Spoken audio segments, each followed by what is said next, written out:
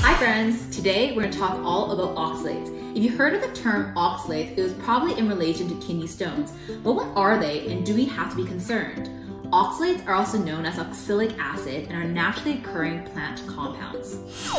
These include spinach, Swiss chard, beets, chocolate, soy products, sweet potatoes, almonds, peanuts, black tea, and coffee.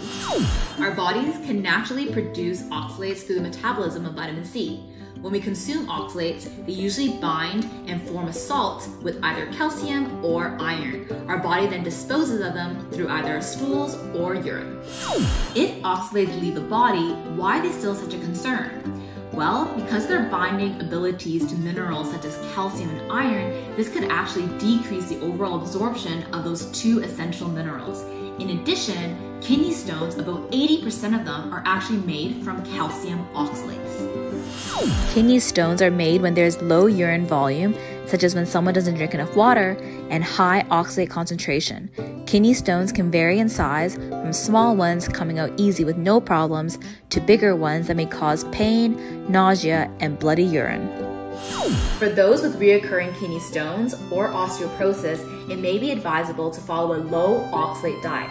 You might be wondering though, how can these highly nutrient dense foods such as sweet potatoes as well as Swiss chard be eliminated from the diet?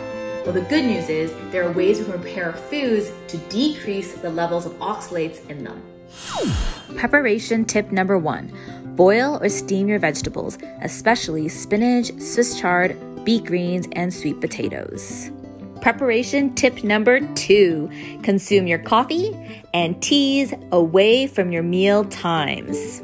Preparation tip number three soak your nuts in water overnight. The next morning, drain and then toast them back up in the oven.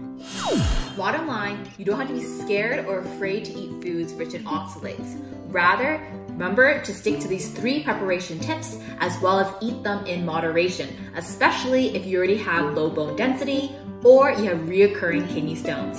I hope you found this video helpful, and until next time, relish every bite.